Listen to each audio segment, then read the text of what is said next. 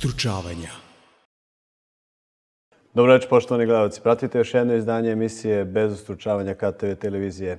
Moj i vaš večerašnji gost je jedan od osnivača Saveza za Srbiju. Gospodin Dragan Đilas, dobro večer, dobrodošli. Dobro večer. Krenimo odmah od aktuelne teme. Šta se desilo u noći 16. marta? Pa gledalci su vjerojatno već vidjeli mnogo snimaka od te večeri, od ulaska građana u radio televiziju Srbiju, radio televiziju Srbije. Ja sam posle nekih desetak minuta saznao se to desilo i ušao na glavni ulaz potpuno normalno, mirno, zajedno sa policijom koja je dolazila. Zahtevi su vrlo jednostavni, one stvari su kulminacija 100 dana protesta na koje je RTS, Dragan Bujošević i ljudi koji vode RTS žmure, jednostavno pravi se to ne postoji i ima već jako puno i, i tekstova i komentara i objašnjavanja. Naravno, nikome nije do nasilja, niko ne podržava nikakvu vrstu nasilja, nasilja te večer nije ni bilo. A s druge strane, ne možete da, da, ne može se dozvoli više da javni servis Srbije žmuri na sve što se dešava, nastavlja tu politiku koja postoje već tolike godine, koja sad samo, samo kulminira. A, mnogo se iz svetskih organizacija novinara oglasilo, uz naravno njihov protest, odnosno neslaganje sa tim da se na taj način ulazi u RTS, ali niko nije preskočio, da ne kažem da je OEPS, prvo OEPS, za, odeljenje za medije, počelo od toga da je RTS dužan da omogući da građani dobijaju pravu istinitu informaciju na vreme. I mi od tog zahteva naravno nećemo odustati. On je jedan od, od osnovnih zahteva u sve ove ostale zahteve i slobodne medije, sve i i, i drugačije, naravno, izborne uslove i sve ostalo što je neophodno da bi ova zemlja napokon postala mhm. slobodna i demokratska država. Planirano ili spontano? Apsolutno spontano i svi koji su bili tamo to će vam potvrditi. Na kraj krava videlo se i po samim dešavanjima. A ja moram da kažem da bez obzira na način do koga je to došlo, da je ono što je jako važno, da apsolutno niko ko je ušao u zgradu Radio Televizije Srbije nije pokazivao nikakvo nasilje ni prema zaposlenima, niti uništavao imovinu te televizije na kraju krajeva i i čovjek sa kojim se tad razgovaralo, jedan od urednika u RTS-u, Zoran Stanović, je to javno rekao da se nisu osetili ni na koji način ugroženi što se tiče demonstranata, niti da je postala želja da se bilo kome, pa čak i imovini RTS-a nešto, nešto uradi, da ostane na taj način zabeleženo. Ovo je jednostavno spontani bunt građana, kao što ove demonstracije potpuno spontane su nastale posle prebijanja Borka Stefanovića, prvo Beograd, pa Kuršumlija, pa smo došli na više od 100 gradova i opština u Srbiji u kojima narod protestuje, šeta, maršira, zovite to kako hoćete, ali želi da se promeni ne samo vlast, nego sistem koji postoji u Srbiji. Znaš što je meni interesantno? Kad ste ušli u RTS, umesto da vas vidimo na RTS-u, na RTS-u smo videli Pink.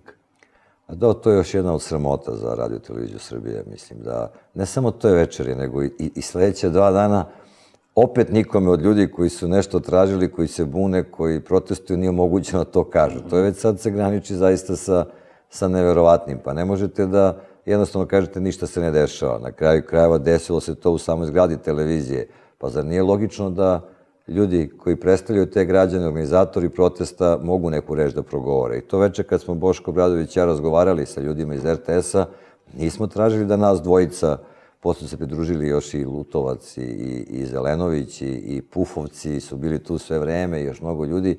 Nismo tražili da nas dvojica gostujemo dva minuta u dnevniku RTS-a ili da, već koliko minuta. Čulo se da ste ponavljali organizatori protesta. Pa da, da, da kažu ljudi zašto sto dana, zašto se pokrenula Srbija, šta, šta se zahteva. Mi živimo u jednoj a, jednoj specifičnoj situaciji da je vlast stalno pravi inverziju realnosti. Sve ono što oni rade optužuje opoziciju i ljude koji su protiv, a mi nikad ne možemo da odgovorimo na sve to. Pet televizija s nacionalnom frekvencijom su zatvorene za nas.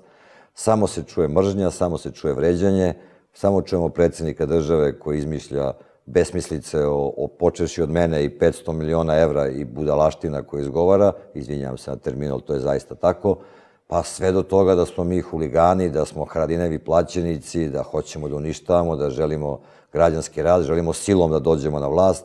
Te su to besmislice. Vi, kada šetate, vidite da ti ljudi zaista nemaju nikakvu ideju da pribegavaju nikakvom nasilju, a da jednostavno više ne mogu da ćute na to što se dešava, na to što im neko vređa inteligenciju, govoreći da ovde u ovoj zemlji svaki dan sve bolje i bolje. Da je bolje, pa ne bi sad 13.000 ljudi koji su otišli 2011. došli na 100.000 ljudi u prošloj godini. Znači, sigurno nije bolje, nego je sve gore i gore. I jednostavno moramo da promenimo nešto, inače će Srbija za 20 godina će se stanovništvo Srbije prepoloviti. Ali vi kao iskusni menadžer, dakle i takođe i u marketingu imate jako mnogo iskustva, Da li je ovo dobro za proteste ili je ovo loše za proteste? Kažete da je bilo spontano. Toliko o tome da ste vi neki financijer, organizator, inspirator protesta. Da li je ovo dobro za imidž protesta, za, da se pozovu građani ili je loše? Ja razmišljam pre svega šta je dobro za Srbiju. Mislim, za Srbiju je dobro da, da, se, da ova vlast ode, za Srbiju je dobro da sve što se dešava bude demokratski i mirnim putem, Za Srbiju je dobro da radio televizija Srbije bude slobodna, za Srbiju je dobro da televizije kao Pink koji šire mržnju više nemaju nacionalnu frekvenciju, su prekršili sve zakone i sva pravila i ugovor po kome su frekvenciju dobili. Za Srbiju je dobro da ovakvi tabloidi koji svaki dan imaju milijardu novih laži i, i gure, svaki drugi dan je rat na naslovnoj strani, svaki drugi dan je vređanje, imamo najgore odnose sa celim regionom trenutno, da to prestane. Znate, meni nije problem. O meni mogu da pišu što će. Pa evo, čitao sam, pre nekoliko dana sam pobegao iz zemlje, mislim, zbog prijava i zbog istraga koje je predsjednik države najavljio, što je tek skandal kako on sme da govori o tome, mislim. To je, to je neverovatno. Ja sam otišao vidim svoju decu u London, odem jedan put 40 dana, nažalost, one, one nisu u Srbiji, nego su tamo, tamo studiraju, završavaju školu. Želim da se, nadam se, verujem da će jednog dana biti zemlja takva da će se i vratiti. Ovaj, sve te laži moraju da stanu. Ne možete ljude koji drugačije misle da na taj način svaki dan vređate, optužujete i da huškate građane na njih, odnosno na nas. Znate, neko ko to čita i sluša, on, on i glasa za Vučića, on veruje u to. Takvih ljudi ima preko milion u Srbiji. Znači, time što to radite, crtate metu na svakom od nas i ugrožavate bezbednost nas i naših porodica. Ja mislim da to nije ideja nikoga ko živi u ovoj zemlji. Ja ću vam uvek reći istu stvar. Jako puno ljudi od onih koji glasaju za Aleksandra Vučića glasaju što veruju da će uz njega biti bolje. Jako puno ljudi koji glasa protiv Aleksandra Vučića veruju da će tako biti bolje. Nema potrebe da mi jedne druge mrzimo. Znači, svako ima pravo da glasa kako hoće, svako ima pravo da ima svoje političke stavove. Ta mržnja, ta agresija koja se već 6-7 godina pravi u ovoj zemlji od onih ljudi koji su nas ranije huškali na druge narode, a sad huškaju građane Srbije na druge građane Srbije, To je strašno opasna stvar i onaj ko to radi čini stvar koja ne sme nikada da se zaboravi. Uh -huh. A, stalno se govorili o radikalizaciji protesta, da je 16. mart promenio proteste ili makar formu ili metodologiju. A, da li, šta dalje zapravo, a, kako će se dalje organizatori protesta odnositi prema zahtevima. Da li će zahtevi se menjati, da li će se metodologija menjati za ispunjavanje tih zahteva? A zahtevi su postavljeni još davno, oni su među vremenu dopunjeni zahtevima za ostavku predsednika, za ostavku premijerke i tako dalje, što je logična stvar jer iz prostog razloga što nema reakcije na to što ljudi demonstriraju, što protestuju, na to što se stalno vređamo da u Beogradu protestuje hiljadu, dve, tri ljudi, Mislim, vi kao novinar ste pratili sve to, vi znate da na protestima nikad nije bilo manje od 25-30 hiljada ljudi u Beogradu, a ovim nekim danima, poput uh, šetnje za Olivera Ivanovića i sličnih nekim drugim datumima, je bilo i preko 50 hiljada ljudi. Znači, jedan ozbiljna energija tu postoji, postoje ljudi koji imaju svoj stav i ja mislim da treba samo sa tim nastaviti. Ova vlast, kad, kad neko pita, a čekajte, šta se dobilo? Pa dobilo se da, da se u Srbiji sve promeni. Dobilo se da podrška predsedniku države padne na 40% do pre godinu i po dana imao mnogo preko 50. Dobilo se da su ljudi shvatili da moramo svi zajedno, bez obzira na političke stavove, da se borimo da se ovaj sistem promeni, a onda na nekim slobodnim izborima svako neka iznese šta ima. Na kraju kraja dobili smo neki ljudi koji nikada nisu zasluživali da budu na nekim funkcijama poput ovog Jutke iz Brusa ili Simonović iz Grodske, moraju da odu. Znači, ovaj jedan već potpuno različne funkcije, ovaj drugi se još kao nešto bori, ali on će morati da ode. Dobili smo da na kraju krajeva i predsednik države krene u kampanju, kako on zove, budućnost Srbije. Ja sam večeras u Zrenjinu vidio šta je budućnost Srbije. To su Stevan i Danijela. Stevan koji zaprosio Danijela u sred ove protestne šetnje i ona mu je rekla da, oni su budućnost Srbije, nije Aleksandar Vučić, verujte mi. Znači, videli smo na još jednu stvar se pokazalo u Srbiji da više Aleksandar Vučić ne može na svojim skupovima da, da okupi, ja mislim, ni hiljadu ljudi iz tog mesta. Znate, kad dovedete 72 autobusa u Smederevo i da nisu svi puni, pošto ni to ne možete više, to je preko 2500 ljudi, a vi ih tamo imate 3000. 55 autobusa u Mitrovicu. Znači, i zbog toga on sad uglavnom svoje te skupove počinje rečenicom da je iznenađen koliko se puno ljudi skupilo. To je opet poruka za ovaj deo njegov, njegovo biračko telo koje je potpuno kapsulirano, koji ne može dobiti informaciju, ni ideju jednu, koji ne zna da, da se mi zalažemo, obećavamo da će u Srbiji doći jako brzo vreme da niko ne zarađuje bar 350 evra, da nećemo više da dozvolimo da se daju subvencije onima koji zapošljavaju ljude za 20 nešto hiljada dinara, da ćemo da napravimo zakon o nacionalizaciji, da oni koji su bud zašto, ako je neko još i, i na neke nelegalne načine, to je tek druga stvar, došao do nekih državnih resursa koje zemlja ne sme da proda. Nema prodaje zemljišta Srbije stranim vlasnicima, nema prodaje rudnog bogatstva, ne sme se prodaje elektrosistem Srbije, to su stvari koje su vrlo jasne. Znači, je to, je to na neki način jedina naša šansa da se pokrenemo, da, da krenemo napred. Ako država sve to, sve to pusti, ako sve banke postanu strane, a nemate nijednu domaću, ne, a ne postoji razvojna banka, pa na koji način vi onda možete da pokrenete ovu zemlju? Znači, to su stvari koje su zdravo razumske, one, one čak i nisu neka visoka ekonomija. To da svako dete je bolje da završi ne osnovnu nego srednju školu, pa to ćemo se svi složiti. A da za roditelje dece koje nemaju dovoljno sredstava, da država da stipendije da bi oni završili srednju školu. Ali kakva je ona druga strana protiv koje se uh, borite?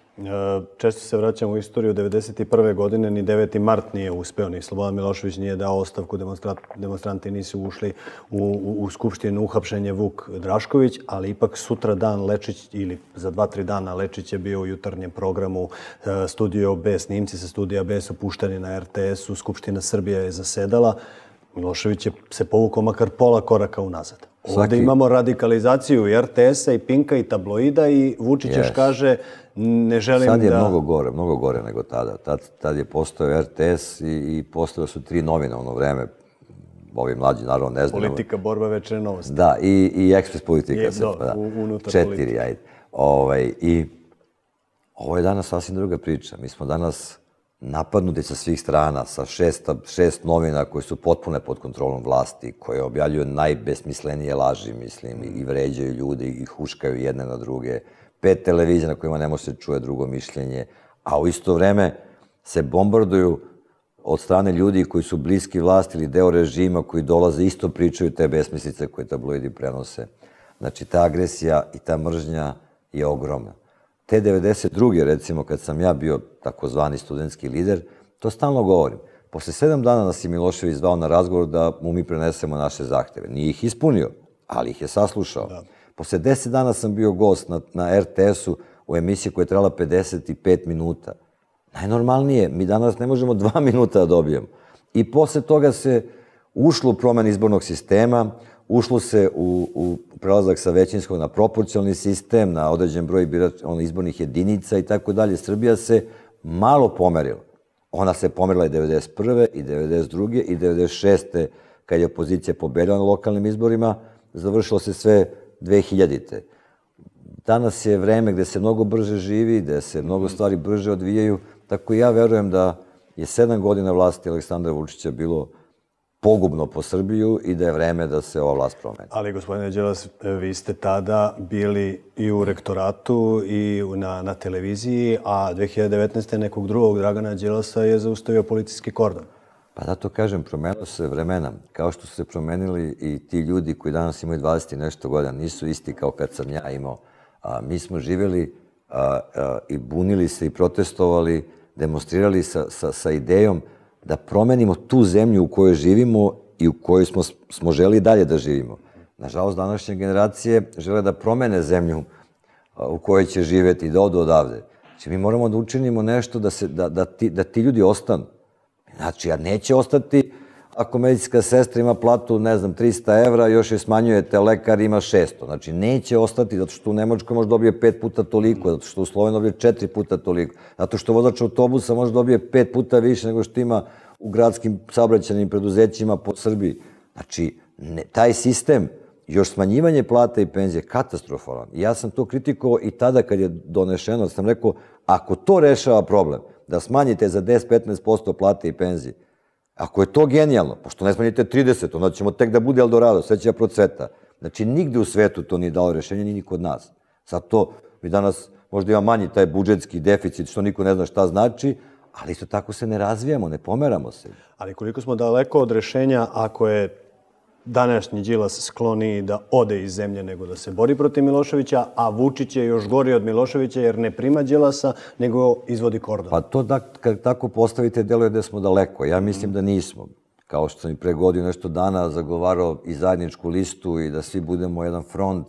Nažalost, u Beogradu me nisu poslušali da jesu, mi bi danas imali, imali bi vlast u Beogradu, znači to bi bio, povučena bi bila prva cigla iz te SNS SNS konstrukcije. Ovako su izbori prošli način kako su prošli uz ogromne krađe, manipulacije, neizlazak građana i opet 51% vlast, 44% opozicija. Mislim, to sam pričao i kod vas da. o istoj emisiji. Znači, danas, uz, ovako, uz ovakve medije, uz ovakav pritisak na ljude, uz ovakve pretnje, Aleksandar Vučić i Srpska napredna stranka imaju 43% glasova po, po istraživanjima. U zemlji samo malo slobodnih medija, samo malo slobodnih građana da bez opasnosti mogu da kažu svoj stav, oni ne mogu pređu trećinu glasova. I to je, to je činjenica, to je jasno svima. A ova svima. druga strana, opozicija, on ima možda 40%, ali on može da vlada sa, sa 40% ako drugoplasirani ima 15%. Pa znam, ali to više se neće desiti, to vam je jasno. Ovaj, mi smo se udružili. Vi, vi danas na ulicama imate koliko je bilo priče, da li da govore političari, da li da ne govore. Ja sam prvi rekao, mnogo je važnije da govore ljudi koji su, koje građani znaju ili ljudi koje ne znaju, oni su profesori, književnici, mm -hmm. a, bilo ko, zaposleni, radnici, koji kažu zašto su oni protiv ovoga. Njihov glas više vredi nego moj glas koji sam opozicioni političar, pa ljudi kažu pa logično da kritikuje ovu vlast. Ali smo vremenom došli od toga da je to se zaista prirodni putem sve spojilo na ogroman protest i to je svima jasno. Jasno je ljudima koji žive ovde, jasno je ljudima u zemljama Zapadne Evrope i Amerike, kao što je svima jasno da podrška Aleksandru Vučiću je podrška koja traje već 6-7 godina, pre svega zbog njegove politike prema Kosovu. Nema potrebe da se oko toga lažemo. Ja sam svaki put ljudima iz Evrope, Evrope rekao, vi podržavate Aleksandra Vučića, ne podržavate Srbiju da bude, da bude bliže Evropi. Mi od vas tražimo da podržite Srbiju ili bar da ukinete podršku ovom čoveku, jer mi ne idemo ka Evropi. U Evropu ne ulaze zemlje koje nisu slobodne. A mi smo počeli pregovore sa Europskom unijom kao slobodna zemlja, da bi danas bili delimično slobodna, dakle neslobodna zemlja. Znači, to je, to je potpuno jasno. I mi ne idemo na tu stranu, mi, nažalost, mnogo više ličimo na Tursku i na njen, njenih poslednjih deset godina, nego na, na deset godina neke zemlje koje želi da bude deo Evrope. Kakva god da je Evropska unija. Ja nisam neki veliki eurofanatik, to znate, ali tamo se trenutno najbolje živi. I mi smo kao kao građani Srbije, kao srpski narod, kao država, kulturološki i, i geografski smo deo Evrope. Možda bi neko od njih teo da tu malo negde povuče granicu pre, ali ne može. Mi smo deo Evrope, nama je tu mesto. Mm -hmm. I jednostavno za to, za to se borimo. Kažete, opozicija se ujedinila. Kakav je odnos između lidera Saveza za Srbiju posle 16. i 17. marta? A isti kao i pre toga, to se stalno podmeću te priče. Ja sam čitao posle tri meseca Malo sam ja u ratu s Jeremićem, pa malo s Obradovićem, pa Obradović sa nekim drugim, pa Jeremić sa trećim, a Lutovac sad tu gleda sa strane, a besmislica potpuna. Znači, ali vlast radi svoj posao, službe rade svoj posao, osim što prate mene i prisluškuju 24 sata, pa me slikaju gde god krenem, da li na aerodromu, da li u Londonu, da li na ulici, nebitno je. I u Londonu? Pa, pa da, ja sam bio pre mes dana, čerki bio 18. rođena, pa izašla slika iz restorana, gde nas je dete, mene, sestru i majku vodilo na večeru sa, sa tekstom kako, smo, kako sam potrošio hiljade evra na skupu crna vina. Ja sam čovjek koji ne pije alkohol, dakle, shvatit ćete da to baš nema smisla. Ali to je nešto što na kraju krajeva, na to ne treba kukati. Ljudi to da i podrazumevaju, da one koji su na vlasti prisluškaju koji su opozicija. Moramo to da promenimo. Znači, to, to je ideja promene sistema. To je ideja da svaki čovjek radi svoje posao i pristojno zarađuje. To je ideja da ne mora da razmišljaju da odu odavde. To je ideja da kad vidite policajca, ja moram da kažem, ja sam srećan kad na ulici vidim pripadnika policije, osjećam se bezbednije. A znam da ima i ljudi koji nečesto rade svoj posao, ali je, je posao sutra nek, nekog, neki novih ljudi da zaštite i da, i da pošteno plate one koji čuju vas, mene i našu decu, a da one koji su u kriminalu, uniforme služi samo da se pokriju, završe tamo da im je mesto. A zato bi iznenadilo to vaše da se osjećate bezbednije kada vidite čoveka u uniformi. Jel verujete institucijama države? Ja i dalje imam visoko poverenje što se tiče profesionalnosti velikog dela policije u Srbiji danas. Moram to da vam kažem. Kolika je mogućnost da u tim institucijama zateknete one koji zloupotrebljavaju tu A instituciju? političari zlopotrebljavaju sigurno. Pa ministarstvo unutrašnjih poslova je najbolji primjer svega toga. Od ministra Stefanovića, koji je formalni ministar, do Dijane Hrkalović, koja je prava ministarka i koja vodi to ministarstvo, mislim. To je svima jasno. Svima jasno da policija nije odradila svoj posao kad je bila sama mala po nečijem naređenju. Svima jasno da je policija pretrala, apsolutno pribegla nasilju nepotrebnom u RTS-u. Na kraju kada imate saopštenja svih organizacija relevantnih za ljudska prava u Srbiji, koji su rekli, prvo niste obezbedili RTS, a onda posle toga ste primenili silu koja je potpuno neproporcionalna i nepotrebna, jer tamo niko nikakav otpor nije pružen, niti iko napadao policiju, niti napadao novinare, niti uništavao nešto. Znači, nikakvih potreba za tim nije bilo. Ljudi koji su to radili, neće sutra više biti u srpskoj policiji. Ja, ja vam garantujem to, što nije, to se ne postavlja kao pitanje. A kako komentarišete one e, zamerke koje kažu ne želim da oslobođam RTS sa Boškom Obradovićem? Pa ne razumem ih. Znači, a, ja sam više puta rekao, svako od ljudi koji su na protestu, ja sam tamo zbog sebe. Znači, nije, nije me pozvao niko drugi, niti ja mislim bilo ko došao zbog poziva nekog opozicionog lidera ili neke javne ličnosti ili nekog profesora, akademika. Oni su došli zbog sebe, ljudi. Svako izlazi zbog sebe želeći da promeni nešto u ovoj zemlji. I u ovom trenutku je taj front veliki. Naravno da ne mislim da je Boško Obradović fašista, mislim i da ljudi jednostavno upotrebljavaju neke reči oko kojih bi trebalo dobro da se zamisle pre nego što izgovore. Da li imamo iste stave o svemu? Pa nemamo i to vam je jasno, mislim, to je... Ali ima jako puno stvari oko kojih se slažemo. A suštinska je stvar da menjamo ovu zemlju, da menjamo ovaj sistem i da smo spremni da kad se napravi ta prva vlada, ne sedimo u njoj, nego ta mesta koje pripadaju na neki način i političarima, da u jednom prelaznom periodu a, zauzmu neki ljudi koji će smanjiti te razlike i tu podelu u Srbiji. Znate, ova, ovaj režim radi jednu strašnu stvar, podelio nas. A mi se delimo već desetinama godina, a on je tu podelu napravio strašno. Nema Srbija budućnost ako se delimo i međusobno mrzimo zbog toga što jedni glasaju za jednu opciju, drugi zbog drugu.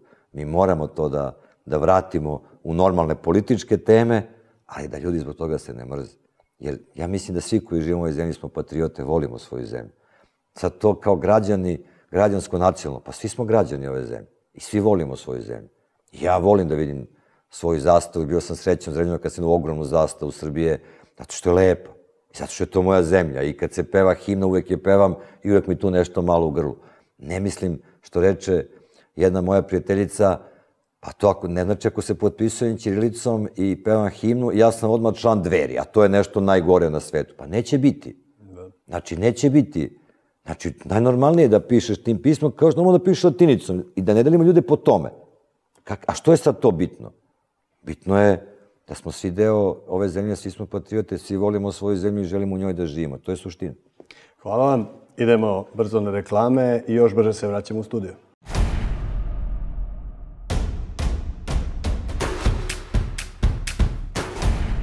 bez ustručavanja. Ponovno smo u studiju Katove televizije, specijalno izdanje emisije Bez ustručavanja, vaš i moj gost Dragan Đilas. A, neke glasine kažu da je 16. mart pomogao opozicionim liderima da preuzmu proteste. Koliko ima istine u tome? Ja ne volim te termine i sve vreme ponavljam istu priču, nema tu preuzimanja. Ako ćemo govorimo o vlasnicima protesta, to su građani koji demonstriraju i protestuju širom cele Srbije već ovoliko dana. I mi zajedno sa njima. Ništa se tu nije toliko promenilo, osim što se prvi put desilo da u Beogradu neko od političara govori. Pre toga smo mi već govorili o mnogim mestima u Srbiji i lideri Saveza za Srbiju, ali i mnogi drugi ljudi, i poslanici i članovi nekih drugih stranaka, na kraju svi oni koji su potpisali sporazum sa narodom koji je ponuđen i prihvaćen od strane naroda, preko 100.000 ljudi je potpisalo, dalo svoj potpis na, na tom sporazumu, jednostavno su deo ovog protesta i zajedno nastavljamo dalje do, do, tog, do tog konačnog cilja, to je do slobode i demokratije u Srbiji. A, 13. april je markiran kao datum koji bi trebao takođe da, da bude prekretnica za, za, za proteste. Kada smo zakazali 13. april, on je pre svega kao ideja da s tog dana u Beogradu dođe što više ljudi iz Srbije. To je jedan veliki zajednički protestni miting, jedna, jedna velike, velike demonstracije, veliki protest. I tada sam rekao, ne znamo šta će se sve dešavati od 13. aprila, evo desilo se i ovo se desilo 16. i, i ono što je po meni takođe bilo vrlo značajno, taj 17. i i tih skoro 10.000 ljudi koji se okupilo oko predsedništva u znak protesta na to što predsednik države radi i nastavlja da radi i onda hapčenje ovih ljudi, mladi koji su na svu sreću i, i na moje zadovoljstvo pušteni iz zatvora, njima zaista tamo nije mesto, apsolutno im nije mesto. Ovaj, I ajde, bar taj stepen ludila je ublažen, pa su oni posle dva, dva dana, tri dana zadržavanja policijskog ovaj, pušteni svi. A, jednostavno, do 13. ima još puno vremena i vidjet ćemo šta će doneti vreme. Ukoliko se vlast bar malo prizove pameti, morat će da pokrene neki dijalog o onim stvarima koje, koje, koji zahteva veliki broj građana Srbije. Ako ga ne bude, onda će ta, ta, te tenzije će rasti, onda će sve biti, biti mnogo teže i u celoj priči. Ja sam apsolutno čovjek izlaže za mirne proteste, ni za kakve uh, ideje upada u, ne znam, zgrade vlade, predsedništa, ali tako nešto, mislim, ljudi nije ovo je 21. vek, mislim, mi smo evropska zemlja, ne želi niko silom da uzima vlast. Ljudi zaboravljaju da je 5. oktobar nastao ne kao a, revolucija na ulici, nego a, pokušaj Miloševića da, da prome izbornu volju građana, pa se narod za to izborio. 96. smo istu stvar imali. Zahtevi su vrlo, vrlo jednostavni i vrlo prosti. Zahtevi su to da dobijemo jednu zemlju koja će svako moći slobodno da glasa, da ima sve informacije i donese svoju odluku oni ljudi koji su se ogle, o, na neki način to što su radili je neprihvatljivo i suprotno zakonima, zahtije da oni odu iz političke scene.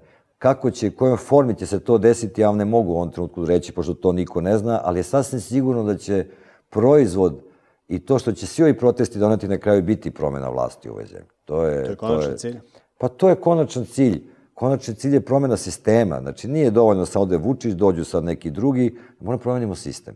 Mora da se zna da država pripada građanima, da ih ona štiti, da brine, da oni svoje obaveze prema državi ispunjavaju, ali da znaju, da osete da, da neko brine o njima. Moramo da, da promenimo stvari. Ne može više ovako. Ne mogu dolaze na, na pozicije ljudi koji imaju nikakve kvalitete za to. Ne mogu ljudi sa kupljenim diplomama. Više puta sam rekao, moji roditelji nemaju fakultetsku diplomu, ali su meni i mom bratu omogućili da završimo fakultet. Nije sramota nemati fakultetsku diplomu, daleko od toga, ali sramota je kupiti. Sramota je kupiti. Znate, ne dele se ljudi po tome ko je završio fakultet, ko nije. Mnogi imaju te kako kapacitete da završi, ali nisu imali mogućnosti, jednostavno to treba neko da isfinansira, ljude rade, mora prežive. Nemojte da delimo ljude po tome. Delimo ih na moralne i nemoralne, na poštene i nepoštene, one koji hoće pomognu svom komšiji i onome koji okrene glavu kad mu je loše. Ajmo po tome da se delimo, ako već moramo da se delimo. A mislim da, da treba i tu da tražimo ono što nas spaja.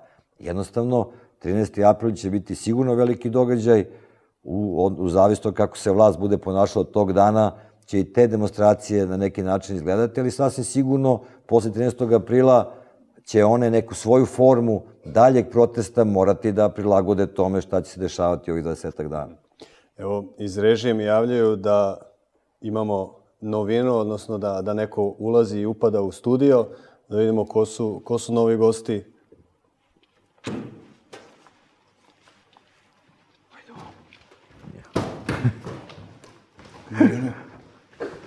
Šta je bre bilo?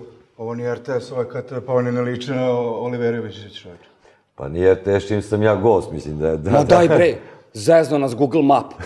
Daj tu testeru Đilasu, da testeriše tu, mi smo i ovako navikli na RTS. Hvala, hvala na ovom, na ovom simpatičnom poklonu. Sve sa kablom, ali kratak je ljudi. Kratak. Momci, izvolite, jel vi... A možemo onda da... Možemo da. Ako... Veče, Dobro veče, kako ste? Dragane, kako ste, Dragane, ste dobro? Dobro veče, dobro veče. Vi pravo iz zatvora ili? Pa, da, da, da, pa, direktno. Direktno. Direktno. Neki su pravo iz zatvora u ministarske fotelje, a vi kod nas, a? Tako, u Zrenjinu, to je običaj. Pa to? Pa da, pa da. Jesu, malo skini sam ovo od balvana. Malo ove zvezdane prašine. Zvezdane. Jesu i vama našli u sefu 300.000 evra ili... Kao i ostalim zrenjanincima? Na kojeg misliš, Zrenjanince to? Pa ja mislim na nekog ministra. Aha, pa pazi.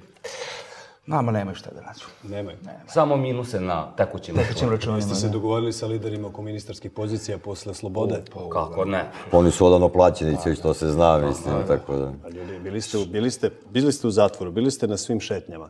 Pa znate li da, da, da onaj Kokeza koji je samo gips stavio pa je dobio futbolski savez? Pa vama moraju da daju makar neko javno preduzeće. Pa, ili Srbija šume, pazi, da, nije loše, pazi. Ili gradsku čistoću. Taman. Pa, da. Pa dobro, to, Pošto to, Sad, imali... šao na stranu, ovaj, mi smo već jako dugo se znamo i prijatelji smo i njih dvojica su stvarno prošli jako teške trenutke i ovog vikenda i, i, i Minja je čovjek koji je, to se vidi na snimcima, bio izložen zaista ozbiljno nasilju od strane pojedinih pripadnika žandarmerije, a, a nikad nije kakav povod za to nije dao. Što reče Gordana Suša, kad bi RTS objavljivo šta, šta radi opozicija, šta rade ljudi koji drugačije misle, da bi neko znao ko gleda RTS šta je puf, šta su fantomi, da oni ljudi na satiričan način se bore protiv ove vlasti, ali u njihovim pesmama i tekako ima političkih poruka, mislim, i oni na ovaj neki način su sada ušli u tu političku arenu, malo bez maski, mislim, da, da ih ljudi vide, i oni su deo svih tih ljudi, njih e, trojica kojima su krivične prijeve podignute, a i ovi mladi ljudi koji dobili prekršene prijeve i poslati na 30 dana izdržavanje, izranje kazni, na svu sreću, danas su svi na slobodi, to je najvažnije sa svojim porodicama, svojim roditeljima, decom, ima ovih koji imaju puno dece, ovaj, jer to je, da, da, ali, ali troje je veli, veliki broj. Mislim da, mislim da je to jako važno, da kažemo da u jednoj, jednoj zemlji u kojoj želimo sad da napravimo neće više nikad niko zbog toga što drugačije misli biti žrtva nasilja ili biti, biti u zatvoru. To je, to je strašno važno da znamo da Srbija posle 30 godina, oni su mlađi, ja se i tad bunio protiv slobe, ali i takvih stvari, da smo opet na, na, isto, na istoj poziciji. Znate šta je poruka ovaj, možda i ove emisije kad smo se već uhvatili dece, ako vam deca odu u inostranstvo, ne trebate da idete za njima, napravite drugu decu ovde. Misliš? Pa, evo, mislim da je, da je i to, da je i to Znači, mi bolje. moramo da se izborimo sad, ovaj, da ne pričam samo ja, da kaže ljudi nešto, moramo da se izborimo da i mi koji imamo decu danas u inostranstvu, ta deca mogu da se vrate, da više deca ne odlaze i da, inače će Srbija zaista, ako se nastaje ovaj trend, za 20 godina će nas biti duplo manje nego što je danas. I to je, to Ali je, da bi, to se je strašno. deca, da bi se deca vratila, političari moraju da idu iz studija. Pa mislim onda... Ne znam, Dragane, vi šta ste ti... sad- Ne znam, Dragane, šta ti kažeš. Ali vi ste sad ljudi već polupolitičari, znači Sergej je, Sergej je postao političar, mislim da kroz ovo što se, znate, ovaj, nisu oni tamo uhapšeni zato što ovaj, snimaju satirične pesme, nego zato što šalju jednu jasnu poruku, mislim. I, I svi mi koji smo na ulici, naravno su politički protesti, svakog ko je na ulici, on je tu iz političkog razloga. Ovaj, ali ja očekujem da u, u buduće vas i vidimo što više bez maski i da te svoje stavove koje sjajno prenosite kroz pesme, prenesete ovako kroz reči, zato ja više neću smetati, a i odneću ovu testeru za svaki slučaj, hvala mislim. ti. Maske su U pale, svakom a slučaju, Ajde. bilo mi je, Čuvaj se. bilo je Čuvaj se. drago vidjeti vas. Čuvaj se, Mislili smo ćemo, pro- da ćemo Zrenjino napolje. biti u protestu da bi vas pustili, vi ste već na polju, dakle idemo na sledeće zahteve, a ja ću ovo odneti za svaki korpus delikti slučaj. no- nosite, ako se ne javite, znamo gde smo. Da, Gde ste. da, što bi rekli u RTS sa, sa stilom. Sa stilom. Sa stilom. Tako i KTV. da. Prijatno, Ali tu najbolje. piše farma. Farma, Pa, dobro, Nemojte da, nemojte da odete na farmu. sklonit ću. Prijatno. Pozdrav. Momci, dobroveče. Dobro večer. Dakle, pokret Ujedinih fantoma u studiju KTV televizije, emisija bez ustručavanja. A, kako ste? Dobro su. Dobro, u ovoj državi ne može da bude drugačije nego dobro. Je li tako? A da. Neće biti dobro za dve, tri godine. Pa, vidjet ćemo. Vidjet ćemo. Šta se desilo 16. marta? 16. marta. Mi smo kao i svake subote, pošto smo prisutni na protestnim šetnjama koje se održavaju u Beogradu i u celoj našoj zemlji gde nas pozovu, dolazimo takođe. PUF, ovaj, da gostuje. Pojavili smo se na toj pro- protestnoj šetnji. Uobičajeno imali smo predviđen performans koji smo izvodili tokom cele te protestne šetnje, a odnosio se na aluziju na seču u drva na Kalemegdanu i uh, mi smo bili te subote mladi Gorani. Mladi Goran. Mladi Goran. Ja sam mladi Goran. Tako je. Vesić. Vesić. Vesić. I nosili smo, ja sam nosio panj, Milan je nosio o, motornu, u stvari Pozemljenu. elektrotester. Pozemljenu elektro, elektrotesteru. Pozemljenu elektrotesteru. a, tokom te protestne šetnje, u, u jednom momentu smo čuli da je a, u RTS da se ušlo. Niste znali? Nismo znali. Nismo znali. Nismo znali. Niko izgleda nije znao. Uh, o, o, to je spontano bilo. Spontano, to je spontano je bilo. bilo. Da, da, došli smo do zgrade RTS-a, zgrada RTS-a je bila otključana, nije bilo nikakvog nasilja, vi niste mogli da vidite na... Jesu vrata bila razvaljena? Jesu... Ne, bila su otvorena. Otvorena vrata, nije bilo nikog. Bilo je naroda gore, ali... O... Bilo je dosta ljudi već u RTS-u. Ja sam čak u jednom momentu pomislio da je možda a, gospodin Dragan Bujošević pristao na te razgovore i da, i otvorio vrata za sve, ajde da kažem, građane, predstavnike opozicije i tako dalje. Ušli smo, ja sam ostavio panj uh, u odmah u holu, popeli smo se na sprat, Milan je nosio električnu testeru, znači testera koja je na struju, iz razloga zato što je to bila pozemljena testera i tu testeru nisu imali kome da ostavimo ispred RTS-a. Tokom boravka tamo, o, mi smo se kao, slikali smo se tu sa ljudima, ja sam delio beđeve, pufa, razgovarali smo slobodno sa svim novinarima, znači koji su i pre uh, ulazka u RTS-u takođe se slikali sa nama, razgovarali i tako dalje. Nakon toga se desio ulazak uh, policije i žandarmerije u zgradu RTS-a i evo... Znači, kada ste ušli, uniformisanih lica nije bilo? Ne, nije, nije. Znači, ni na ulazu, ni na spratovima gde, gde su bili ljudi. Nigde. Nigde. Samo obezbeđenje RTS-a koje se povuklo. Tako. I... Ja, mi nismo videli ni obezbeđenje. Da, nije se ulazilo, ulazilo ni u kakve kancelarije, prostorije, znači, bila je onako jedna kako... Ste videli novinare i urednike na RTS-u? Pazi, N1 ti je merodavan. N1 je sve snimao. Da. Tako da, sve što... Bili su uživo snimci, znači sa, pre, na društvenim mrežama svi su to pratili. Znači, bila onako jedna a, mirna atmo, atmosfera, da je se razgovaralo, tražilo se da se ispoštuju ti uslovi koje je opozicija postavila i sve, nigde nismo mogli da pretpostavimo do čega će u stvari doći. E sad, do čega je došlo? Došlo je do toga da je onda u jednom momentu žandarmerija i policija su ušli i opkolili su sve ulaze e,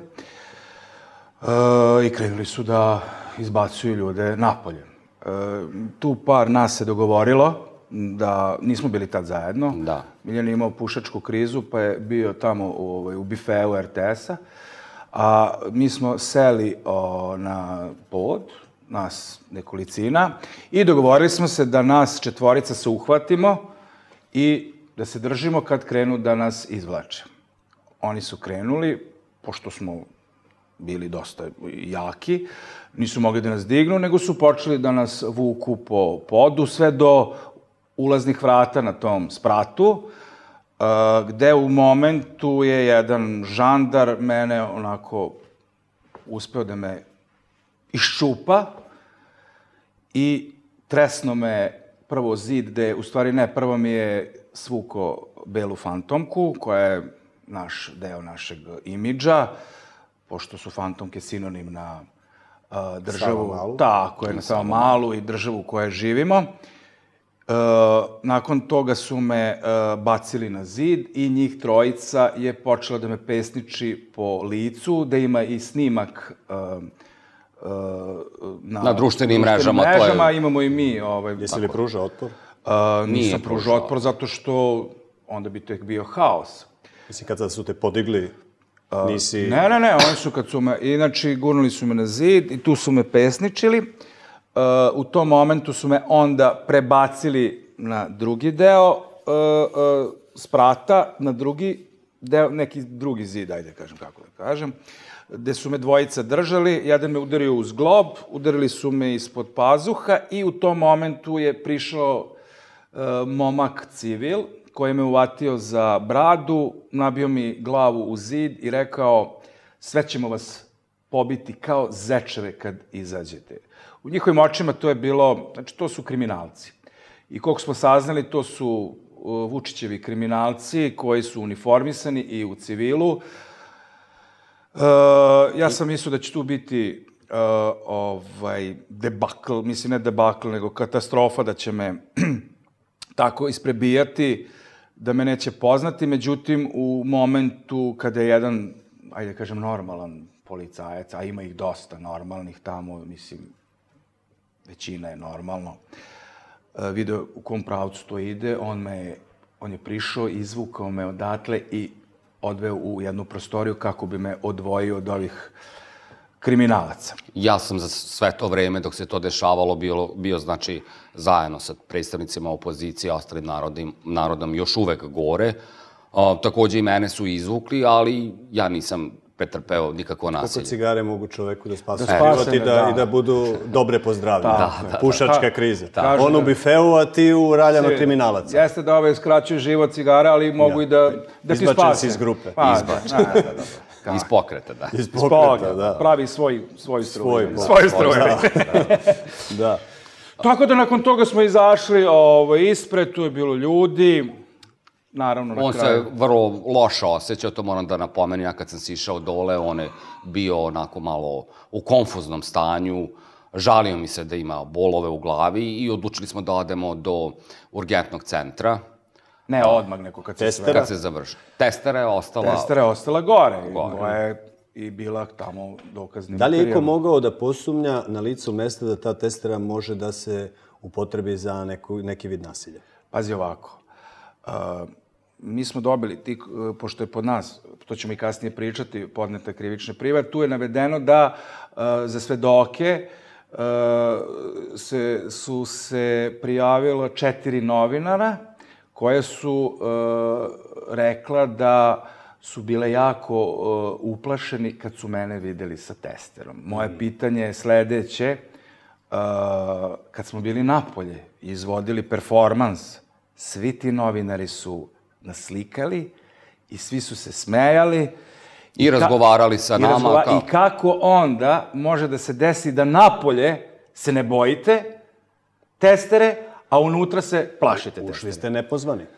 Uh, ne, mi smo ušli, vrata su bila otvorena. Vrata su bila otvorena i napominjem, Nisu znači mogli da unutra je predvide bi... vaše namere. Možda ste u napadu besa došli da došli po pravdu. Fu. fantomi... Pa i mi smo mogli da se bojimo od njihovih kamera, da će oni nas da udaraju po, po, po glavi. Električna testera. Problem je to što pozemna testera od jednog drugara koji je dobio za uspomenu od pokojnog teče. Meni teča bio non stop u glavi.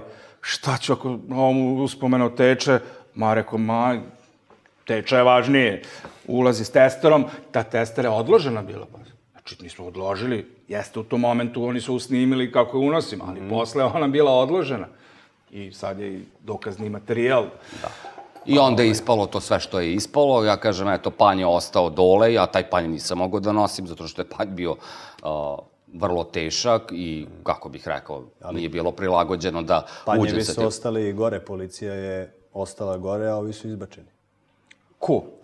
Ljudi koji su sedeli, koji, ko- sa kojima si sedeo, Pa svi su. Svi smo, da, Svi svi su su izbačeni, ali samo je nas par, da ti kažem, u momentu dok su mene držali uza zid tamo, dok je ovaj, jednog tipa su tako tresnuli u zid i kad je pao ovaj, jedan od njih je nogom ga tako udario po licu, ja sam mislio da ga je ubio. To je bilo jezivo gledajući. Znači, tome se, to, to, tome se prisustvovao, video si Tome svojim sam očima. prisustuo. Ja ću to sve, znači mi, uh, mi ćemo podneti sad tužbe i protiv Neše Stefanovića i Vučića i svih ovaj, znate, celog tog establishmenta Srpske napredne stranke koji nas uh, u zadnjih 3-4 dana u medijima razvlače kao najveće kriminalce.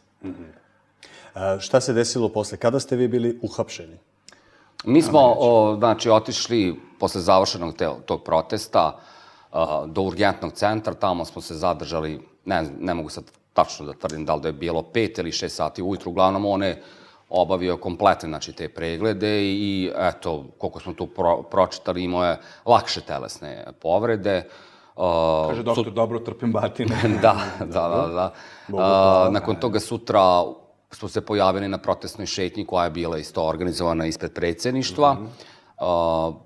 u jednom trenutku smo se izdvojili iz uh, mase, te otišli smo do nekog obližnjeg kafića da popijemo o, kafu sa našim prijateljima Zrenjanincima i tu je prišlo šest ili sedam policajaca u civilu i nas privelo. Šta su vam rekli? Pa ništa da, o, da, da nas privode i da budemo mirni. Mi smo naravno to sve ispoštovali i oni su nas priveli. Da li je neko snimio, pošto e, tokom demonstracija koje su bile ispred e, predsjedništva, pojavili su se na društvenim mrežama snimci e, privođenja ljudi koji su bili u, u, u RTS-u. I tokom i nas su snimali isto tu. Prilikom naše tako- hapšenja, e, ovaj, ljudi koji su bili u kafiću su, su snimali i pustili naše- također na društvenim mrežama taj. Nije bilo sile. Nije bilo sile. Nije bilo sile, da. A, gde su vas prvo odveli? Odveli su nas u 29. novembar. 20 u zgradu SUPA. Tamo smo obavili, ajde tako kažem, taj informativni a, prvi razgovor. A, Moram da kažem da su tu isto, znači policajci bili, inspektori ti bili krajnje korektni, sa uvažavanjem, znači i mene i Milana. U jednom momentu smo saznali da nam je određen pritvor od 48 sati i da je, će biti podneta kao krivična prijava protiv nas. O, nakon toga su nas smestili u naše ćelije, samice te, kako li se to već zove. Onako, tu smo bili do utorka ili ponedeljka, kako? Inače smeštaj, Da. odličan klupa, Da, da, da, da. I o, prebačeni smo u više tužilaštvo, gde se čekalo znači, da obavimo razgovor sa tužiocem i sa sudijom. Obavili smo razgovor sa uh, tužiocem, nakon toga ubrzo i sa sudijom i onda smo dobili informaciju da smo pušteni da se branimo sa slobodom. Možemo da čujemo delove tog razgovora. Pa Šta evo, ih je ja ću- interesovalo? Da, Pa- znači ovako, uh, prvo sam ja išao ovaj, kod tužioca.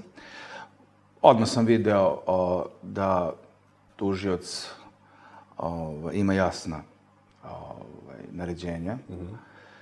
On je tu nas saslušao, sve što smo imali da kažemo.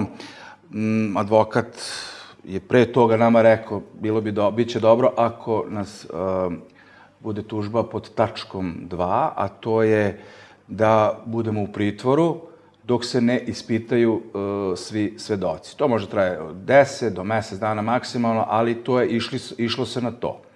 Posle došao Miljan i kad su nas saslušali, uh, saznali smo da je tužba pod tačkom broj 3, a to je uh, od jedne do osam godina zatvora. Znači, oni su stavili ono najgoru... najgoru najteže delo. Tako, najteže delo. A za koje delo ste optuženi? Za Nasilje na- na sportskim, sportskim eh, događajima. događajima i, i skupovima. E, bili smo svesni da, da, da vrh, direktno Aleksandar Vučić, je takvu naredbu ovaj, dao. Posle toga smo obavili, išli kod sudije, dali smo izjave i kod sudije i Minja i ja. O, nakon toga smo, znači sudija je bila krajne korektna, ne mogu da kažem iz ovog tužioca, on je saslušao, ali on čovek radi svoj posao kako ga radi, znači a, tužilaštvo radi svoj posao, sudije takođe radi svoj a, posao i onda su, su sišli dole da nam saopšte da smo pušteni da Ali bilo se je- branimo o, sa slobode. Ali bilo je ovako, um, pa sudi, sudija je samo ono govorila non stop, ovo je absurd, ovo je absurd, to su bili ozbiljni pritisci. Kad smo izašli, ona je rekla da će ta pre, uh, to rešenje biti za 20 minuta. Mi smo se vratili u Ćelije, gde su tamo, bili smo sa nekim dilerima droge, onako poučne priče smo i tu slušali. I ovaj, prođe jedan sat, prođe dva sata, prođe tri sata, prođe četiri sata, ušli smo u peti sat i tek onda su sišla, a, sišli policajci Da. i rekli da, da smo pušteni da se branimo sa da slobode. branimo. Nakon toga smo se uputili kući, naravno, u Zrenjanin i tek u tom momentu smo postali svesni, znači sutra dan, a, kakva je u stvari ujdurma bila nad nama prethodnih, eto, dva, tri dana i kakva se tu prašina digla oko te testere famozne i kako smo Minja i ja na jedan najgnusnoj način predstavljeni kao kriminalci, manijaci i ne znam ni ja šta već. Da li su mogla kola da se slome na vama? Dakle, da vas kazne za to što ste upali u RTS i da se strogoća trenira nad vama zato što ste nosili testeru. Je li to bio cilj? A, pa, to je, uh, kako bih vam rekao, mi, uh, pokret Ujedinjenih fantoma postoji skoro će sad, eto da kažem tako, dve godine. Uh, to je inače autentičan građansko-radnički pokret, muzički, politički, satirični. I uh, muzika je nama alata, suština je u političkim porukama koje mm -hmm. mi šaljemo kroz uh, tu muziku i pesmu, kroz taj stih.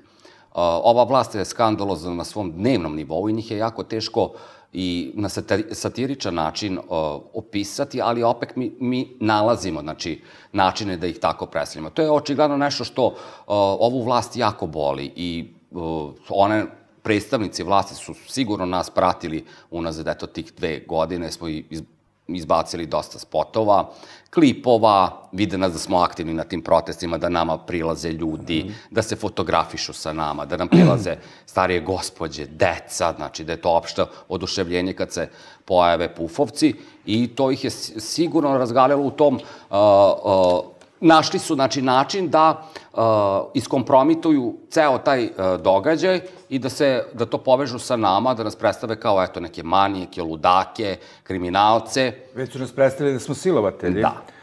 Tako da ovaj Da, da, da, da, da. Znači to su onako o, zaista onako strašne stvari. Znači, mi nismo mogli da verujemo prosto kad smo pročitali šta se tu pisalo, šta se govorilo po medijima o, na, o nama dvojici. Znači, ja i Mila ne da mi smo vrlo onako pitomi ljudi, dobronamerni, ne da ne, ne bi pomislio u životu ni na kakvo nasilje, ne da to ne opravdavam ni u najluđim snovima, znači tako nešto da se, da se radi, razumete? I onda normalno da nas se to zabolelo i nas, i naše porodice, komšije, okolinu i tako dalje. Mi znamo da Vučić neće stati, mi to znamo, to se vidi da je lično, ovaj, ali nećemo ni mi stati. Da nove inspiracije za pesmu? Da. Pa to je nova inspiracija. Testera. Ovaj, tako da će e, novi hit biti testera za dve nedelje, otprilike. Eto, ekskluziva. Momci, da vam kažem, uh, Tito je bio u zatvoru, Slobodan Milošević je bio u zatvoru, Boris Tadić je bio u zatvoru, Toma Nikolić je bio u zatvoru.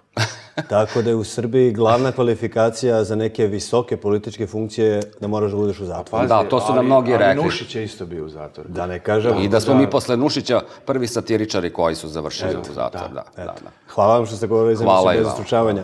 Prijetno. Ostanite sa nama.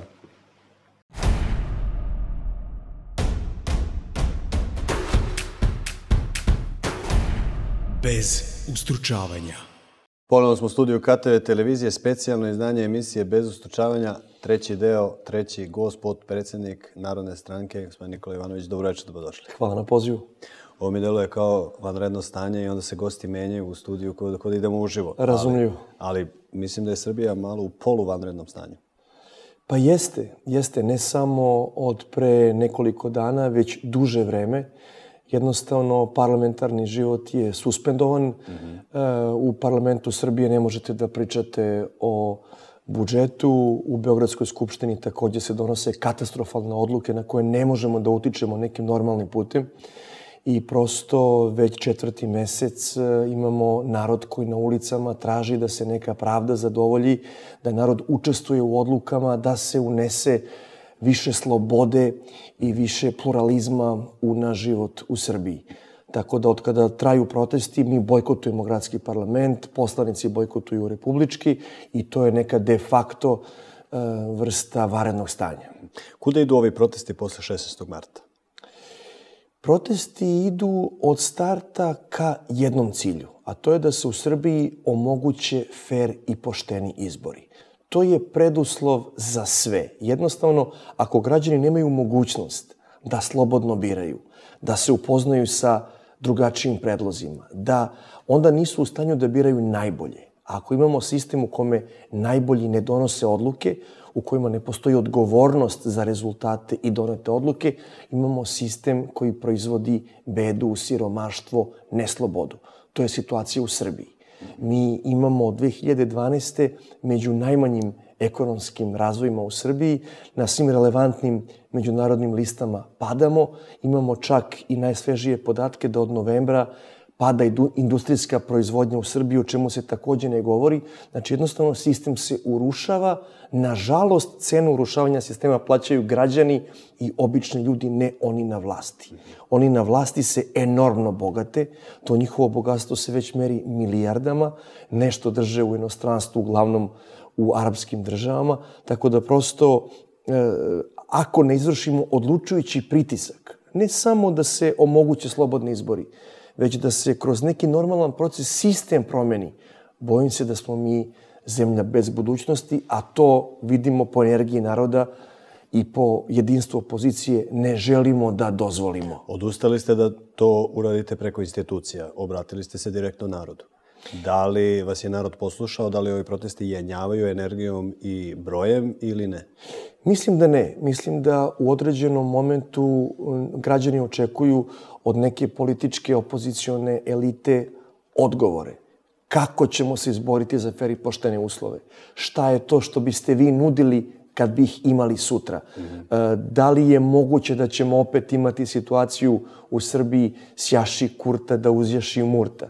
Narod legitimno posle decenija loših politika, neodgovornih vlasti, očekuje odgovor od opozicije i mislim da e, smo zakazivanjem nekog velikog mitinga u Beogradu i izvesnom radikalizacijom protesta odgovorili na jedan deo zahteva naroda, a takođe mi ne prestajemo da govorimo o programu. Naravno da doći će vreme kad će programi moći da se predstave u normalnim uslovima, ali mi već sad govorimo šta bismo mi radili. E, vlast stalno govori opozicija nema program. Upravo je suprotno. Vlast nema program. Vlast bukvalno odlučuje od danas do sutra, zavisno od e, anketa i istraživanja javnog mnjenja koje dnevno dobijaju. Opozicija ima program. To je 30 tačaka Saveza za Srbiju. To je ono što smo mi kao amadmane u Beogradskoj skupštini predstavljali. Ja sam govorio u Zrenjaninu kako mi vidimo Zrenjanin u 21. veku, e, gde usmeriti javna sredstva. Mi stalno govorimo o programu. Tako da je jedan veliki spin Vučića i režima da opozicija nema program. Oni nemaju program. Nemaju ideologiju, e, ne veruju u nikakve vrednosti i zbog toga se sistem i urušava. A, spomenuli ste jednu reč, to je radikalizacija. Šta to podrazumeva? Radikalizacija znači e, pre svega da nećemo odustati. Nećemo odustati od protesta na ulici, nećemo praviti kompromise sa režimom, neće biti tajnih pregovora sa Vučićem. U tom smislu, e, pre svega, mislim na radikalizaciju. Naravno, opozicija se odavno odrekla i stoji pri tome bilo kakvog nasilja. Mi ne želimo nasilje. Nas je više. Ne znam da li su svi svesni toga. Nas je više. Kada pogledate kako aktualni predsjednik govori sa omalovažavanjem, bilo je par desetina hiljada, pa čak govori par hiljada. E, neću spekulisati o brojkama, ali ono što znam, to je da on ne može da napravi okupljanje svojih pristalica bilo gde u Srbiji, da ne dovodi organizovane autobuse nesrećnika iz javnog sektora ili ljudi koji su ucenjeni. U Smederevo je vodio 72 autobusa. U Mitrovicu 51 je vladajuća stranka organizovala, što znači da on nema izvornu podršku naroda. On ima ono što se zove kapilarni glasovi, a to je vrši prinudu nad ljudima u javnom sektoru, vrši prinudu nad sirotinjom, vrši prinudu, ucenjuju ljude da bi ti aplaudirali. Mislim da i njihovim pristalicama je već jasno da to nije put za prosperitet i mislim da se i njegova, eh, njegovo biračko telo osipa, energija u njegovoj stranci pada. Imamo neke informacije da je zavladala panika, pogotovo nakon proteklog vikenda kada je narod pokazao da je spreman da se odlučno bori za svoja prava po cenu i da, i da stane naspram kordona policijske brigade ili žandarmerije i da ne odstupi. Utvrdili smo da je ulaz u RTS bio spontani čin, da je izveden neorganizovano, reklo bi se stihijski, da to niko nije očekivao. Reklo bi se ni vlast, ni, ni opozicija. Da je vlast očekivala, RTS bi bio pun policije, a da je opozicija to planirala, pa valjda bi 50.000 minimum ljudi bilo oko, oko Tako RTS. je, tako je. Deo građana i opozicije ušao u RTS nakon neke rasprave sa To poključao obezbeđenjem. bes ili, ili više nije moglo da se ja istrpe? mislim da je to ili... bio spontani čin. Jer nekoliko puta građani su dolazili do RTS-a, tražili da razgovaraju direktno sa urednicima s obzirom da nikakav odgovor nismo dobili. U ovom momentu, prošli vikend, građani su rekli hoćemo da razgovaramo sa urednicima. Neki od urednika su bili unutra i narod je rekao pa šta više da, da čekamo. Da nam šalju pisma koja neće doći da ignorišu ljude koji su bukvalno ispred zgrade javnog servisa svake subote i da dobiju možda u najboljem slučaju neki prilog od 20 sekundi. Dok RTS izveštava pomno o događajima u Francuskoj, u Venecueli, pa to je uvredljivo. Da. To je uvredljivo. Te večeri Javni izveštavaju servis- u Albaniji, a protest je došao na red Verujte, tek to je, 50. to je minuta. uvredljivo. Mi smo se pre više od 200 godina izborili za svoju slobodu. U krajnju ruku taj javni servis plaćaju građani. Da ne spominjem da postoji zakon o javnim medijskim servisima. I kako neko može da pomisli u upravnom odboru ili direktor ili urednik RTS-a da može da ignoriše ljude koji legitimno tražu, traže samo jednu stvar, da budu saslušani. Odnosno da objasne zbog čega protestuju. Pazite, e, organizatori su rekli jednu stvar. Nemojte više da Vučić objašnjava šta mi želimo. Nemojte na Pinku da prepričava naše zahteve. Mi smo punoletni. Mi to možemo sami. Da li možemo da u dnevniku kažemo zašto mesecima protestujemo? I da dobijemo odgovor da li je problem da u dnevniku objasnimo šta se dešava iz naše vizure. Ako je to problem, zašto je problem? Ako je Aleksandar Vučić u 2018. bio ravno 181 sat na javnom servisu, kako je moguće da li- lideri opozicije nisu ni minut? Gospodin Vuk Jeremić, gospodin Dragan Đilas, e, organizatori protesta. Kako je, kako, kako je to moguće? Kako smo došli tu? Turaka više nema, e, komunizma više nema. Izborili smo se valjda za neku demokratsku Srbiju. Gde je nestala u prethodnim godinama? Kako jedan čovjek odluči ja ću da gostujem kroz razne priloge, fingirane aktivnosti 181 sat u toku, toku godine. Čak nije ni sporno e, ni što se pojavljuje kao predsjednik. Čak ne mora ni opozicije da bude značajno na RTS-u. Ali zašto javni servis ne napravi prilog? Gospodine Vučiću, obećali ste Mercedes u Srbiji. Gospođo Mihajlović, rekli ste brze pruge do 2016. Koridor 10 do 2017. Rekli ste neće biti smanjivanja penzija. Makar da prave te objektivne, nepristrasne e, priloge o tome šta se stvarno dešava. Nije problem javnog servisa što nema dovoljno opozicije, već što nema dovoljno istine. Nema kritičkog osvrta. Nema ni opozicije u, u, u parlamentu. Vi ste šef odborničke grupe uh, Savez za Srbiju. Saveza za Srbiju u Beogradskom parlamentu, odnosno u Beogradskoj gradskoj, skupštini. Uh, šta ste time postigli? Pa ja mislim da smo postigli, poslali smo poruku da je sistem nelegitiman. E, ja čak mislim, ako mogu da budem subjektivan, da su naši odbornici u Skupštini grada imali možda i najviše efekta od svih predstavničkih domova u Srbiji. E, na naš pritisak vlast je krenula u gradu da se bavi divljom gradnjom. E, neke objekte koji su obećali su počeli da grade, na primjer školu u Leštanima. I neke e, pohapsili su vinovnike nekog prepada na obične ljude i goste u beton hali. Međutim, to, to nije dovoljno. Bukvalno svaki naš predlog za dopunom dnevnog reda, svako naše odborničko pitanje, oni su ignorisali. I vrhunac je bio kada sam ispred Saveza ja govorio o pogoršanoj bezbednosti u Beogradu. Kada sam rekao Beograd se više ne sastoji od 17 gradskih opština, već i od dve crnogorske mesne zajednice. kavači, škaljari. I 2018. imamo rekordni broj mafijaških ubistava u Beogradu, 20, da ne opterećujem sad vaše gledalce. Tražio sam, tražili smo da u gradskoj skupštini o tome referiše ministar policije, direktor policije, državni sekretar i da se napravi radna grupa gde će grad Beograd i MUP da zajednički preduzmu neke mere. Pazite, to se dešavalo u svim ranijim sazivima gradske skupštine. Ništa nismo izmišljali, otkrivali toplu To je vodu. običajno zajedničko telo za rešavanje nekih problema koje se tiču grada Te Beograda. varedne sednice Skupštine grada Beograda su se dešavale ranije, pre vlasti SNS. Znate šta je bio njihov odgovor?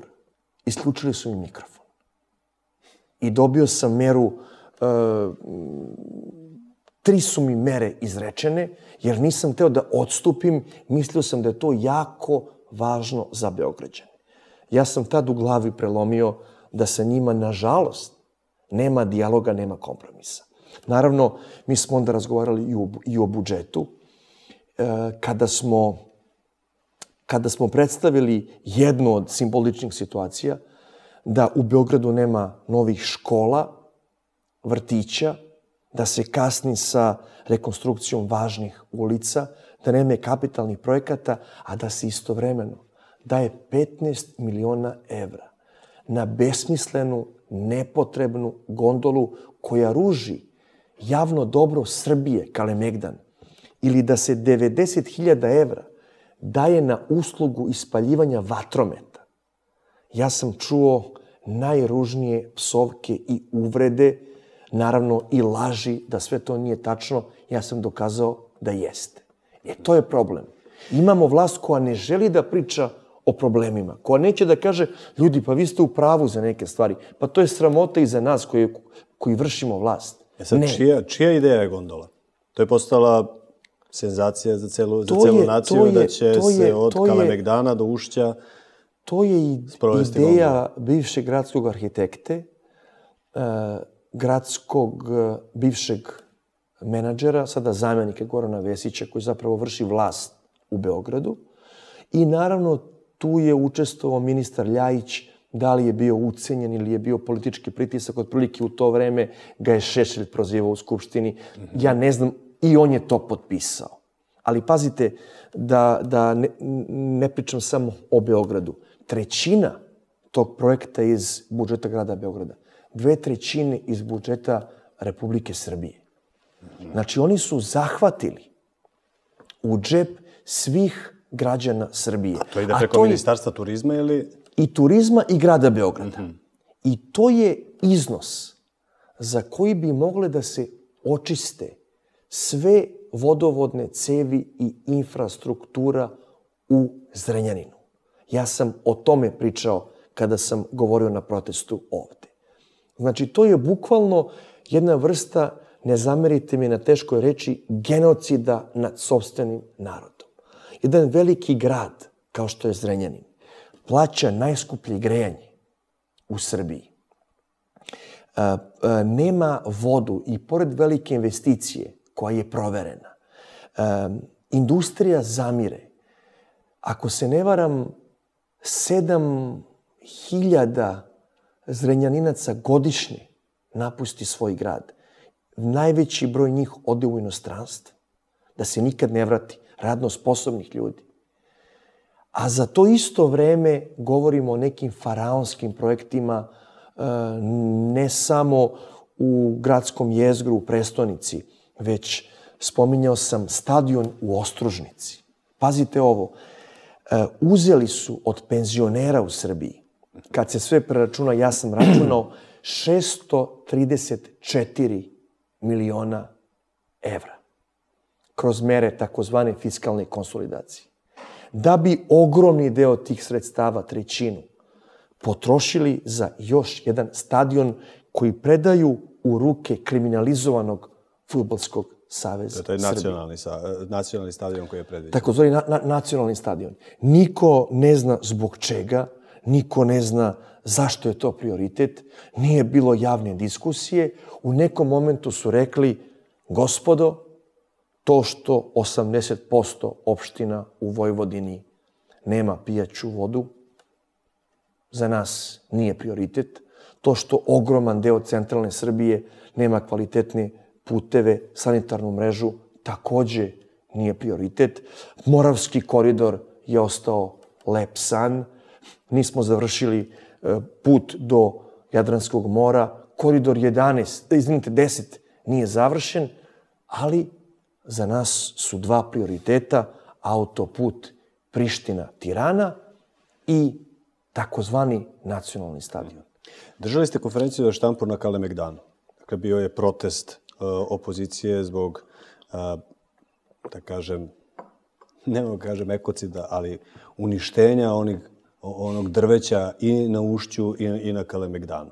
Kao ono je, ono je strašno bilo za, za, za verujte, verujte, um, osim Novog Beograda, neki delovi prestonice, ali tako je u velikom delu Srbije, se bukvalno guše od zagađenja, od smoga, od individualnih ložišta, najštetnije grejanje na ugalj i daljinsko i individualno. E, Srbija je jako zagađena zemlja i svaka nova vlast, šta god da odluči, prioritet mora biti pošumljavanje. E, to što su oni sekli drveće, koje, je, koje pamti na Kalemegdanu prvi svetski rat, ti borići. Sa tih pozicija smo se branili da, od da, Austro-Ugara i 14. i 15. da. Čuveni branioci Beograda koji su kasnije učestvovali i u Kolubarskoj bici i tako dalje. Je ekocid, kao što vi kažete. Ali čak, čak nije ni najveći problem. Tu su problemi što će zbog tog projekta gondole, a nazvali su ga gondola jer ne mogu da ga nazovu žičara, jer je žičara urbanističkim planom zabranjena na Kalemegdanu. Mm -hmm. Oni su time ugrozili stavljanje Kalemegdana na uh, s, uh, listu UNESCO i dva najveća dobra koja imamo u prestonici su uh, ugrozili. Jedan je pogled na ušće, zbog koga su neki govorili da je Beograd najlepši grad na svetu i sama Beogradska tvrđava koja je dokaz da živimo na mestu gde su keltska, rimska, e, otomanska i naravno naša civilizacija trajale vekovima. Kao da žele ne samo da poseku platane i boriće i da nas uguše u betonu, što rade sistematski u, u prestonici i šire, već i da nam e, potiru sećanja da smo drevna civilizacija i drevni narod.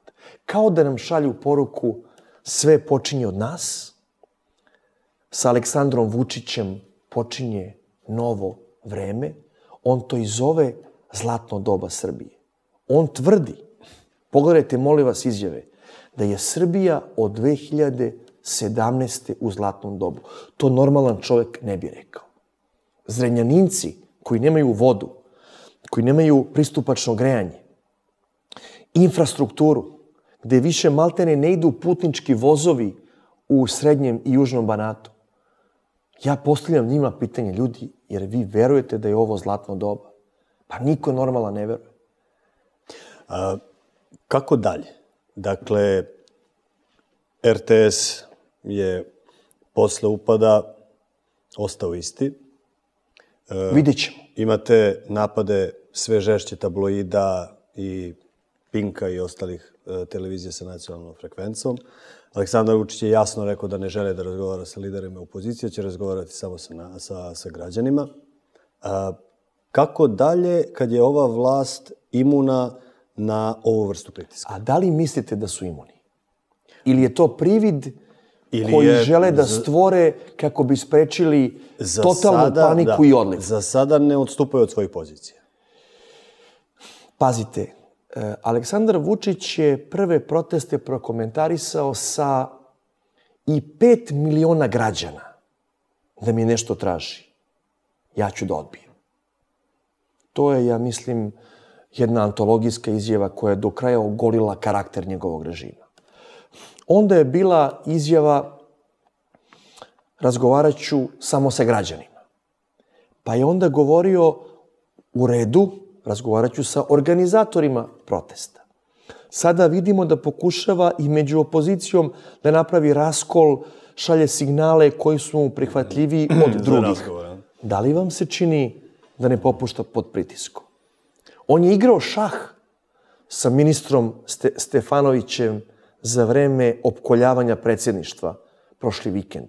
Ali po rasporedu figura vidite da on uopšte nije igrao šah, nego da je on na brzinu poslagao figure kako bi poslao poruku da igra šah, a u stvari je vladala totalna panika u predsjedništvu. Ja sam I razumeo- videli ste po konferenciji za štampu koliko se znoji, koliko se bavi opozicijom, da je zapravo je on svestan da njemu vreme ističe. Ta da je- partija šaha, ja sam je razumeo drugačije. Ja ređam figure, za mene ne postoje pravila, ja mogu i lovca da preko pijuna ovaj, da, da pokrećem, a preko puta mene mora da stoji neko kapaciteta Neše Stefanovića koji se neće buniti. Odlično, ako je poslao takvu poruku, ja se nadam, nadam da će većina građana da je protumači kao i vi i onda je situacija jasna. Onda imamo sa jedne strane čoveka koji kaže Ustav mi ništa ne znači, institucije mi ništa ne znače, e, država to sam ja, imamo nas iz opozicije koje kažemo ljudi, mi smo evropska, slobodarska, demokratska država. Možemo diskutovati koje su najbolje investicije. E, možemo se ne slagati oko neke politike, ali moramo o tome debatovati u parlamentu. Moramo konsultovati narod. Moramo konsultovati opoziciju. Moramo konsultovati koalicione partnere. Ne mogu se sve odluke donositi iz jedne glave, to je pogubno. Tako je crtao koridore, pa se, kori, pa se koridor u Grdalici obrušio.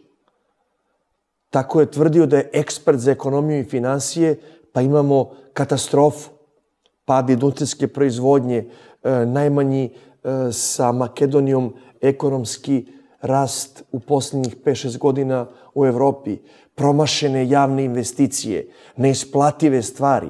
U vezi te gondole, to nije naj, naj, najvažnija stvar, ali ja sam sa govornice u Skupštini grada rekao, gospodo, Vesić i Ljajić garantuju da se ovo isplaćuje za šest godina. Pa platite iz svojih džepova. Ili nađete privatni investitore. Ako ste ubeđeni da je ovo isplativ projekat, zaradite. Ko vam brani? Ali nemojte stavljati ruku u džep građana Beograda i Srbije, ružiti Kalemegdan i prevaljivati rizik na građane. E to je bitno. Da imamo procenu rizika, institucije, e, donošenje odluka gde se takvi ekscesi onemogućavaju od strane nekih kontrolnih mehanizama, a ne bum, ostružnica, nacionalni stadion. Čekaj, majstore, pa ljudi nemaju vodu, plaćamo najskuplje grejanje u Evropi, vozovi nam idu kao pre 100 godina. Kako, kako možeš da umisliš da si ekspert i za razvoj, pa da ti odlučuješ koji nikad u životu ništa nisi radio, koji si studirao sedam godina, koji se samo baviš istraživanjem javnog mnjenja, ko si ti da samostalno odlučuješ gde ide 250 miliona evra, tuđih para, para građana Srbije? A, poslednje pitanje, Grocka, tamo je bilo okupljanje opozicije. Imamo smenu predsednika, predsednika opštine. Da li je to iznuđeni potez, da li se to roni ta hrid Aleksandra Vučića ili je to još samo jedno zamajavanje javnosti? Pa nije zamajava, zamajavanje javnosti u smislu da je gospodin Dragoljub Simonović bio blizak saradnik Nebojša Stefanovića. Oni su sarađivali i privatno, i poslovno, i službeno. On je neko koji je držao gvozdenom rukom Grodsku za SNS. Posle otkrivanja istine da je taj čovek naručio ubistvo novinara Milana Jovanovića. Da je podplatio sa 1500 evra, pazite ovo, policajca.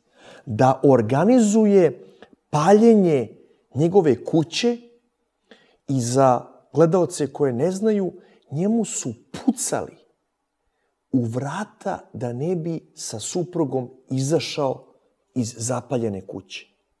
Takav čovek predstavlja SNS u jednoj beogradskoj opštini, a ima ih desetine. Da ne spominjem Jutku, Labana, druge šerife.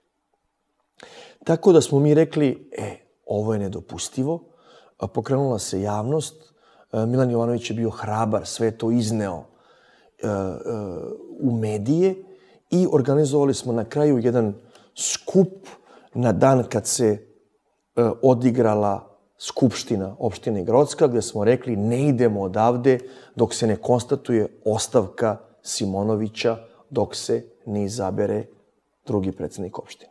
To je jedna simbolična pobjeda. Mm -hmm. Ja se slažem. Samom tom pobedom režim nije uzdrman. U krajnju ruku u Grodskoj je izabrana njegova zamenica koja mu je bila knjigovođa u nekim privatnim poslovima. Ali je simbol SNS-a u toj opštini odstupio.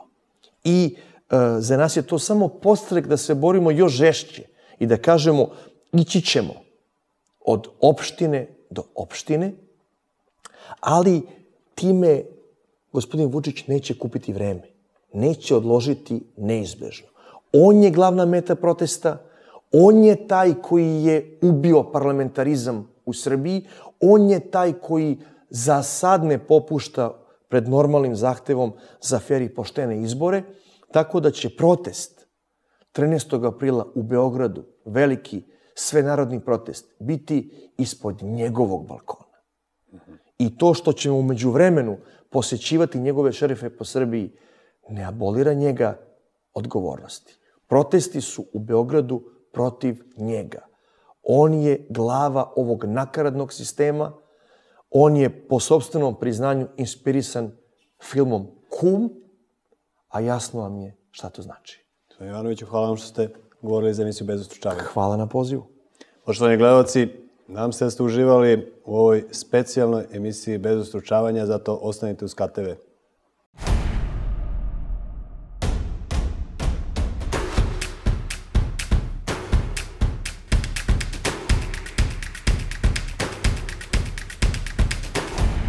bez ustručavanja.